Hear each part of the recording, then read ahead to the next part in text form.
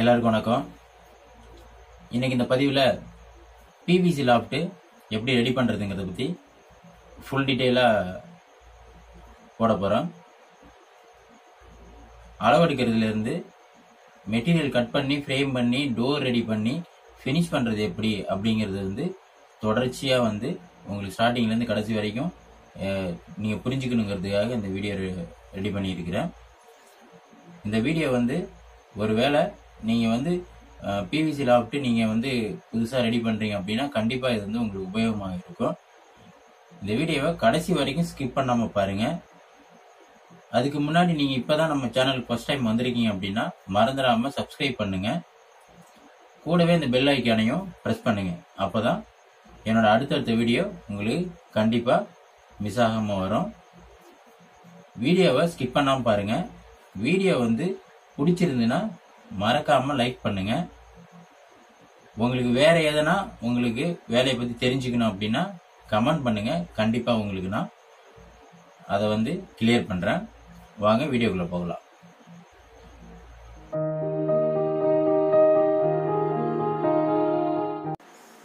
முதல்ல நாம் என்ன மெட்டீரியல் யூஸ் பண்ணுறோங்கிறத பற்றி பார்க்கலாம். இதுதான் வந்து பார்த்தீங்கன்னா டாஃபா இது வந்து பேரா கட் பண்ணாமல் ஃபுல் டாஃபாக வரும்.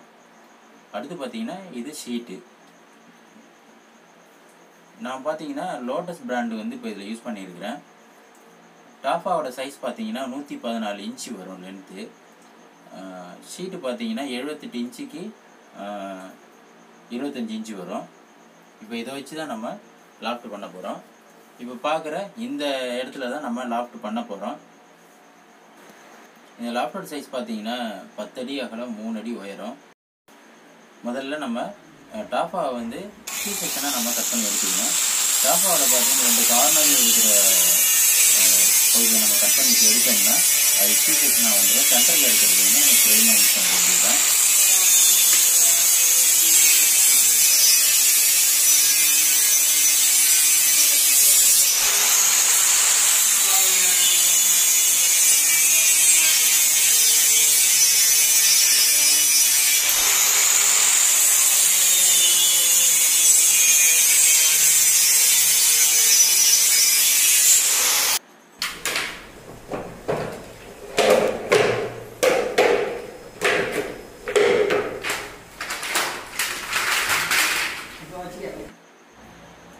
ஃபஸ்ட்டு ஸ்டெப்பாக பார்த்தீங்கன்னா நம்ம டாஃபா வந்து கட் பண்ணியாச்சு சீயாக கட் பண்ணியாச்சு. இதுக்கடுத்து பார்த்தீங்கன்னா நம்ம கரெக்டான லாஃப்டோட கரெக்டான அளவு எடுத்துக்கணும். அளவு எப்படி எடுக்கிறதுன்னு பார்த்தீங்கன்னா நான் ஏற்கனவே சொல்லியிருப்பேன். போன வீடியோலலாம் சொல்லியிருப்பேன். அளவு வந்து பார்த்தீங்கன்னா எது சின்ன அளவோ அதுக்காக தான் நம்ம லாஃப்ட் வந்து ரெடி பண்ணணும். முக்கியமாக வந்து பார்த்தீங்கன்னா ஹைட்டு வந்து அளவு எடுக்கும் போது லாஃப்டில் ஒரு கண்டினியூட்டியாக வந்து அளவு வந்து செக் பண்ணி அதில் எது சின்ன அளவு இருக்கோ அந்த அளவுக்காக நீங்கள் வந்து ஹைட் ஃப்ரேம் எடுத்துக்கணும். அதேமாரி அகலத்தை பார்த்தீங்கன்னா பீம் இல்லாமல் இருந்து பிளைனாக இருக்கு வால் அப்படின்னா பாட்டத்தோட பாட்டம் அளவும் செக் பண்ணிக்கணும். ரூஃப் அளவும் செக் பண்ணிக்கிட்டு அதில் எது சின்ன அளவோ அந்த அளவுக்காக நம்ம ஃப்ரேம் ரெடி பண்ணிக்கணும். இப்போ வந்து இப்போ இந்த லாஃப்ட் பார்த்தீங்கன்னா பத்தடி லாஃப்ட் அது. இதை வந்து நம்ம எப்படி சைஸ் பிரிக்கணும் அப்படின்னா மேக்சிமம் வந்து பார்த்தீங்கன்னா ரெண்டு அடிக்கு ஒரு டோர் வர மாதிரி நம்ம பண்ணுவோம். இப்போ வந்து பத்தடிங்கிறதுனால அதில் அஞ்சு டோர் வரும். ரெண்டு டோரு ஒரு பார்ட்டும் இன்னொரு பார்ட் ஒரு ரெண்டு டோரும் ஒரு சிங்கிள் டோர் ஒரு கார்னரில் வர மாதிரி நம்ம லாஃப்ட் பண்ண போகிறோம் இப்போ முக்கியமாக வந்து பார்த்தீங்கன்னா அளவு வந்து எப்படி எடுக்கிறாங்க அதை பாருங்க.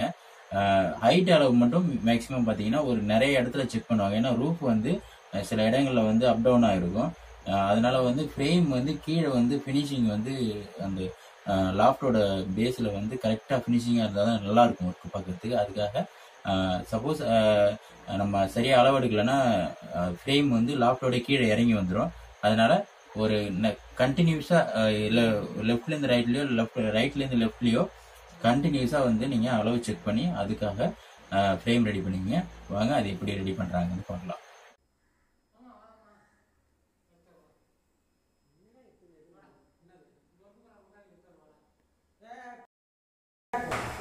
லாஸ்ட் வரைக்கும்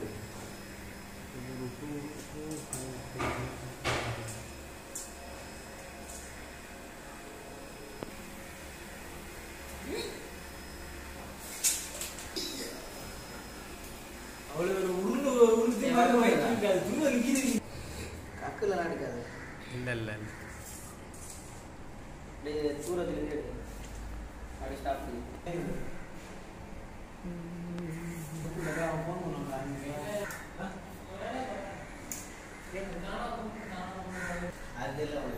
மோரில் அடிச்சா முடியாது. மோரில் அப்படின்னு நீ ஓகே இப்போ அளவு எடுத்தாச்சு. இப்போ அதுக்கடுத்து பார்த்தீங்கன்னா ஃப்ரேம் ரெடி பண்ணுறது எப்படிங்கிறத பற்றி நம்ம பார்க்கலாம். ஏற்கனவே பார்த்தீங்கன்னா டாஃபா வந்து ரெண்டு கார்னரையும் கட் பண்ணிட்டோம். ரெண்டு கார்னரும் சி பீஸ் அது வந்து டோருக்கு அவுட் ஃப்ரேமாக வரும். இப்போ நம்ம வந்து அவுட் ஃப்ரேம் ரெடி பண்ணோம். அப்போ சென்டரில் இருக்கிற அந்த டாஃபா வந்து அது பாக்ஸ் டாஃபான்னு சொல்லுவாங்க. அதை வந்து நம்ம ஃப்ரேமுக்கு ரெடி பண்ணிக்கணும். ஃப்ரேம் வந்து பார்த்தீங்கன்னா இது வந்து பத்தடி இருக்குது. இந்த பத்தடிக்கு வந்து ஆக்சுவலாக வந்து பார்த்தீங்கன்னா இது ஒன்பது அடி தான் டாஃபாக வரும். இப்போ ஜாயின் பண்ணணும். அந்த ஜாயின் பண்ணுறதும் பார்த்தீங்கன்னா ஃபார்ட்டி ஃபைவ் டிகிரியில் வச்சு கட் பண்ணி அதை வந்து ஜாயின் பண்ணுவாங்க. மேக்ஸிமம் பார்த்தீங்கன்னா இதை மாதிரி நம்ம ஜாயின் பண்ணும்போது ஜாயிண்ட் வந்து நீட்டாக இருக்கும். அது எப்படி ஜாயின் பண்ணுறாங்க எப்படி ஃப்ரேம் ரெடி பண்ணுறாங்க வாங்க இதை பார்க்கலாம்.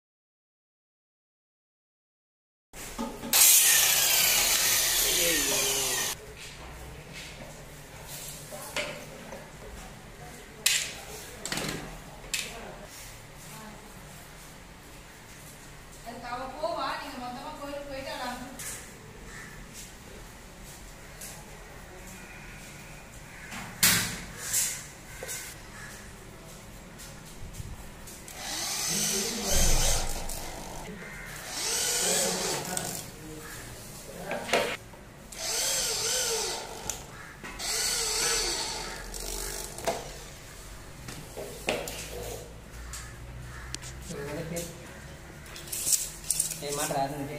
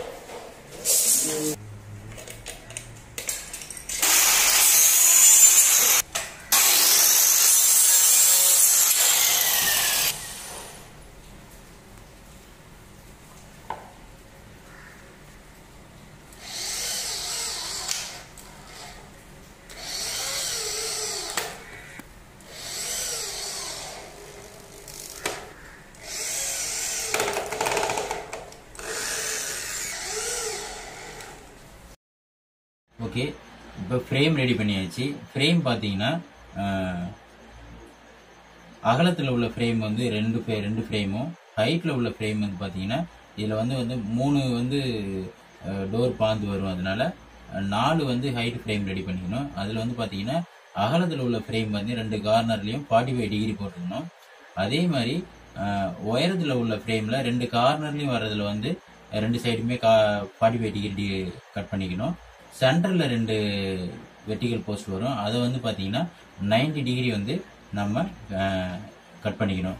அதேமாரி பார்த்தீங்கன்னா அவுட்டர் ஃப்ரேமில் வந்து மேலே டாப்பு பாட்டம் ரெண்டு சைடு வர்றது வந்து பார்த்தீங்கன்னா என்ன அளவு இருக்கோ அந்த அளவுக்காக கட் பண்ணிக்கணும். சென்டரில் வர்றது மட்டும் சென்டரில் வர வெர்டிகல் ஃப்ரேமில் மட்டும் நம்ம ஹைட்டு ஃப்ரேமும் பாட்டம் ஃப்ரேமும் என்ன அளவு இருக்கோ அதை கம்மி பண்ணி அதுக்காக வந்து 90 டிகிரி கட் பண்ணி நம்ம ஃப்ரேம் வந்து கட் பண்ணிக்கணும். ஏன்னா ரெண்டு கார்னர் ஃப்ரேமுமே பார்த்தீங்கன்னா டைரெக்டாக வந்து ஃபார்ட்டி ஃபைவ் டிகிரியில் ஜாயின் ஜாயிண்ட் ஆகும். இப்போ சென்டர் ஃப்ரேம் பார்த்தீங்கன்னா மேலே உள்ளதையும் வாட்டத்தில் உள்ள டாப்பாவோட அளவையும் கம்மி பண்ணி அது என்ன அளவு இருக்கோ அந்த அளவுக்காக தான் நம்ம வந்து ரெண்டு ஃப்ரேம் ரெடி பண்ணிக்கணும். இதே மாதிரி தான் எ- எந்த என்ன சைஸில் வந்து நம்ம லாக் பண்ணாலும் அதில் வந்து எத்தனை டோர் பிரிக்கிறோமோ அதுக்கு எத்தனை ஃப்ரேம் வருதோ அந்த ஃப்ரேம் எல்லாமே அதே மாதிரி மேலே உள்ள அளவு ஃப்ரேமோட அளவையும் கீழே உள்ள ஃப்ரேமோட சைஸையும் கம்மி பண்ணி தான் நம்ம வந்து சென்டர் ஃப்ரேம் கட் பண்ணிக்கணும். உதாரணத்துக்கு ஹைட்டு வந்து லாஃப்டட் ஹைட்டு முப்பது இன்ச்சு இருக்குதுன்னா இந்த டாப்பாவோட சைஸ் பார்த்தீங்கன்னா ரெண்டரை இன்ச்சு கிட்டத்தட்ட வரும். மேலே ஒரு ரெண்டு இன்ச்சு கீழே ஒரு ரெண்டு இன்ச்சு மொத்தம் அஞ்சு இன்ச்சு நம்ம கம்மி பண்ணி உள்ளே உள்ள ஃப்ரேமோட சைஸ் பார்த்தீங்கன்னா இருபத்தஞ்சு இன்ச்சு நம்ம கட் பண்ணிக்கணும். அடுத்து பார்த்தீங்கன்னா இப்போ வந்து ஃப்ரேமில் ஃப்ரேமை வந்து ஜாயின் பண்ணுறதுக்கு சென்டரில் வந்து சென்டர் போஸ்ட் எப்படி வந்து காடி எடுத்து ஃபிட் பண்ணுறது அப்படிங்கிறத பற்றி பார்க்கலாம். அது கூடவே ஃப்ரேம் எப்படி ஃபுல்லாக ஜாயின் பண்ணுறாங்க உட் வச்சு எப்படி ஜாயின் பண்ணுறாங்க அப்படிங்கிறத பற்றி நம்ம பார்க்கலாம். டாபா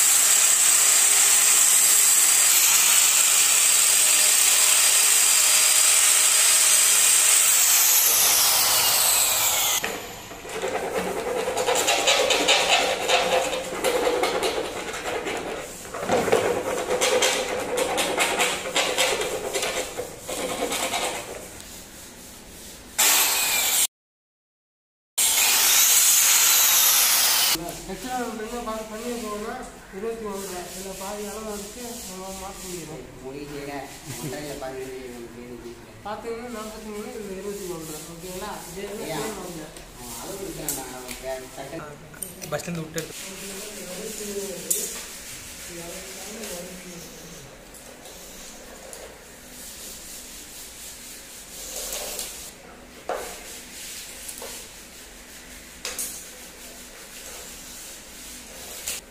ஆ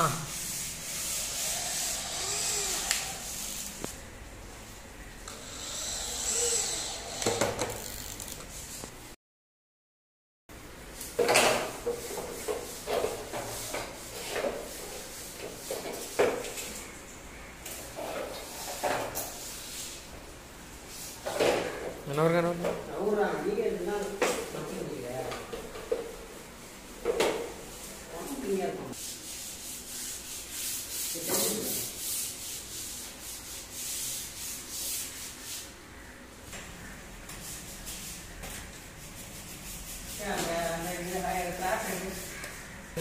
நேரம் வந்து வாட்டில் வாங்க காசு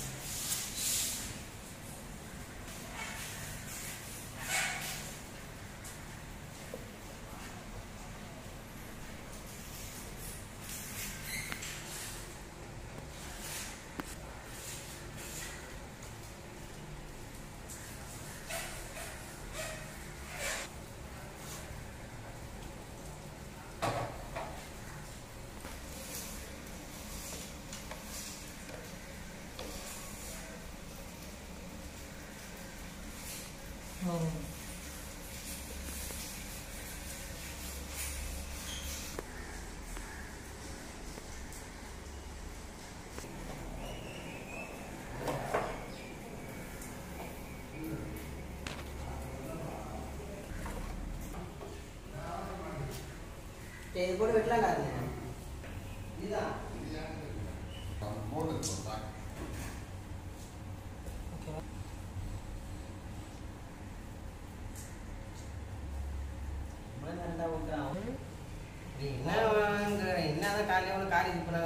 வேற எங்கேயும் வீட்டில் இருக்கான் இங்கே? இல்லை இல்லை அவன் நான் வீடு விட்டு நான் இங்கே நேரம் கேம் தான். படம் பார்த்து இப்போ ஃப்ரேம் ஜாயின் பண்ணியாச்சு. இப்போ ஃப்ரேம் ஜாயின் பண்ணுறதுக்கு முன்னாடி பார்த்தீங்கன்னா வெர்டிக்கல் பீஸில் டாப்பு பாட்டம் பீஸில் எல்லாத்துலேயுமே வந்து கரெக்டாக வந்து ஒட்டு கொடுத்து ஸ்க்ரூ பண்ணிடணும். அப்போ தான் வந்து பார்த்தீங்கன்னா நம்ம ஹிஞ்ச் பண்ணும்போது மேக்னட் ஃபிக்ஸ் பண்ணும்போது கரெக்டாக வந்து உட்டில் பிடிச்சி லைஃப் லாங் வந்து அது இருக்கும். அதனால் வந்து வுட்டு வந்து நமக்கு எங்கெங்க கொடுக்கணுமோ கரெக்டாக வுட்டை கொடுத்து ஃபிக்ஸ் பண்ணிக்கணும். வுட்டு கொடுத்து ஃபிக்ஸ் பண்ணிவிட்டு கரெக்டாக ஜாயின் பண்ணும்போது பார்த்தீங்கன்னா ஃபஸ்ட்டு வந்து ஜாயின் கொண்டாந்து ஜாயிண்ட் வச்சுட்டு ப்ளஸ் டூ யூஸ் பண்ணி நம்ம கரெக்டாக ஒட்டிக்கணும். ஒட்டிக்கிட்டு அப்புறம் பார்த்தீங்கன்னா ஃப்ரேம் எல்லாத்தையுமே கார்னர்லாம் கரெக்டாக ஜாயின் பண்ணிவிட்டு ஒரு வாட்டி நம்ம வச்சிருக்கிற அளவு வந்து கரெக்டாக இருக்கா எல்லா இடத்துலையும் கரெக்டாக அளவு இருக்கான்னு செக் பண்ணிக்கணும். திரும்பி வந்து அட்ஜஸ்ட் பண்ண முடியாது. அதனால செக் பண்ணிக்கணும். செக் பண்ணிக்கிட்டு பா பார்த்தீங்கன்னா இன்னொன்று சொல்ல மறந்துட்டேன். முதல்ல பார்த்தீங்கன்னா நம்ம டோரோட சைஸ் வந்து பார்த்தீங்கன்னா நம்ம ஷீட் சைஸ் இருபத்தஞ்சு இன்ச்சு இருக்கும். நீங்கள் ஒரு வேளை டபுள் டோர் போடுறீங்க அப்படின்னா அதிகபட்சமாக ஐம்பது இன்ச்சுக்குள்ளே வர மாதிரி நம்ம சைஸ் வச்சு உள்ள உள்ள அளவு சைஸ் வச்சுக்கணும் சிங்கிள் டோர்னா இருபத்தஞ்சு inch door size seat seat size என்ன இருக்குதோ அந்த சைஸ்க்காகவே நீங்கள் வந்து சிங்கிள் டோர் போடும்போது சைஸ் எடுத்துக்கலாம். இந்த அதிகபட்சமான அளவு பார்த்தீங்கன்னா ஒரு டோரோட சைஸ் இருபத்தஞ்சு இன்ச் வரும். அதனால டபுள் டோர் ஏரியாவை வந்து நாற்பத்தெட்டு இன்ச்சு இல்லை ஐம்பது இன்ச்சுக்குள்ளார வர மாதிரி நீங்கள் வந்து அளவு செ செட் பண்ணிங்க. அதுமாதிரி சிங்கிள் டோர் வந்து இருபத்தஞ்சி இன்ச்சு வர மாதிரி செட் பண்ணிக்கங்க அடுத்து பார்த்தீங்கன்னா இதையெல்லாம் அளவுலாம் செக் பண்ணிட்டு ஃபுல்லாக வந்து எங்கெங்க உட்டு கொடுத்து நம்ம ஜாயின் பண்ணியிருக்கோமோ கார்னர்ஸ் எல்லாமே வந்து ஸ்க்ரூ பண்ணி ஜாயின் பண்ணிக்கணும். டேப்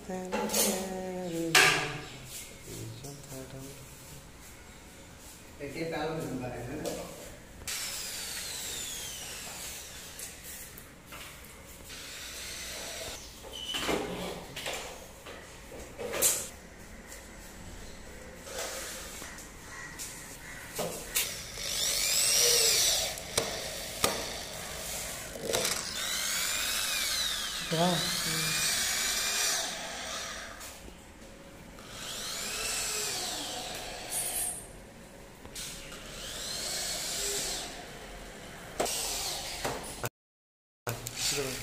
நல்லா சொல்லுங்க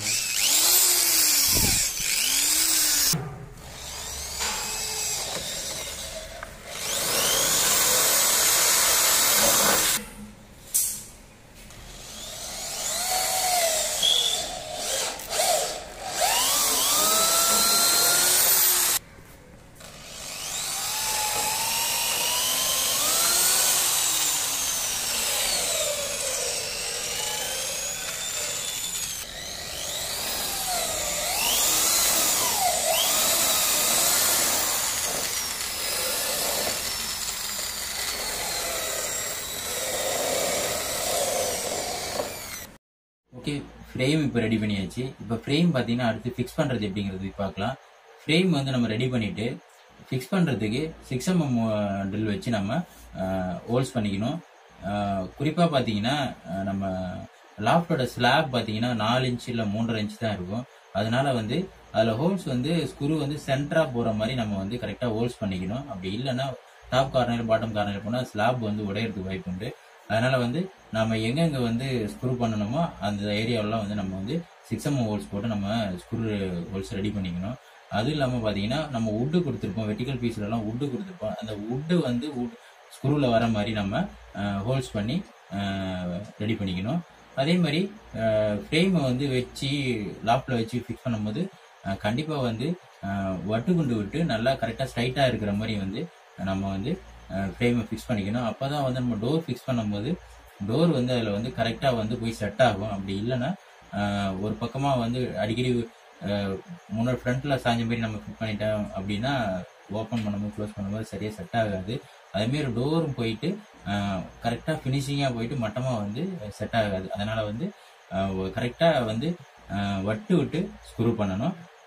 இது லாப்டில் பார்த்தீங்கன்னா கீழே பாட்டத்தில் மட்டும்தான் வந்து ஸ்லாப் வரும். சைடில் வந்து பார்த்தீங்கன்னா ஒரு எல் கிளாம்பு கொடுத்து தான் நம்ம வந்து ஃபிட் பண்ணணும். அஹ், வாங்க அதை எப்படி ஃபிட் பண்ணணும்னு பார்க்கலாம்.